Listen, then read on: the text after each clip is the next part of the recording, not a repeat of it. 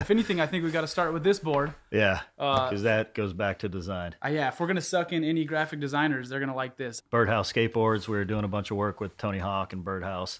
So this was obviously a reference from um, Sal Bass. Saul Bass, uh, what's that? Anatomy of a Murder or something or other. So that movie poster. This came to us from Matt Ball, who was a pro skater for Birdhouse. So he he was a big fan of that movie, wanted that board. There's a ton of uh, parodies Oh, done yeah. in the skate industry for uh, for board graphics. You just said parody, so I just I saw this one on the top. Yeah, bring yep, this up. yeah. Classic, you Yep, know, Chris uh, Cole, Plan B, Mighty Short. Yep, Nintendo Duck Hunter. Yeah. Yeah, graphic. That's that's a good one. Yeah.